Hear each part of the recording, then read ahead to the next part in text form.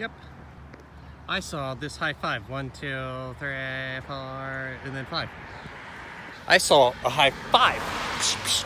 And then here they come. So, this would make the greatest six of all time for all of you. The greatest sex. That's the greatest sex I had today. You see, SIX. I just, I can't help that I've changed everything. Half of you are beautiful women in the mirror, and I need to remain a whoa man because I owe y'all in the mirror. So, woman and whoa man, equality. That's how I do this. So, wow. Via the clouds and the 2021 pilots, it created a high five, and then five of the beautiful birds came, and then a, a, the greatest sixth of all time. So, welcome to Kinder Garden, and we need to switch our habits up here. Got it? That's that. It's very easy. Ask Dr. Jay Lombard. Ask Deepak Chopra. Ask Nat. There's a long list that are angels on earth. Here we go. Bye bye. U plus me equals peace.